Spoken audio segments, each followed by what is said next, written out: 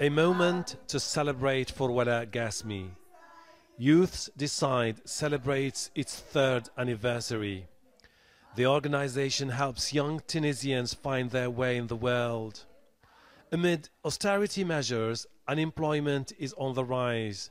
Wala and her team stepped in offering free digital training skills to the poor across the country. We used Facebook, we used social media, we used the photos, the video.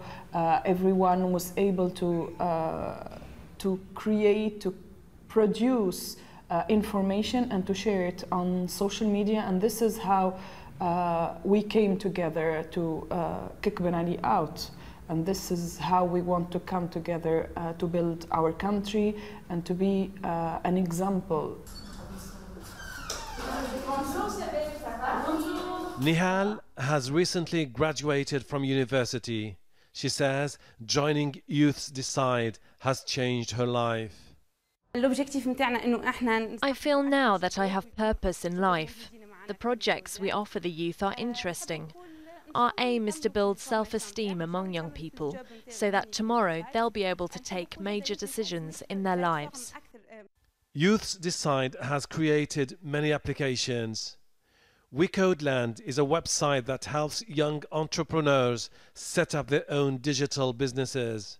And Shayani offers ride sharing services that is expanding in Tunisia. The country has limited natural resources. Wala and her team's biggest hope is to use digital technology to improve Tunisia's economy.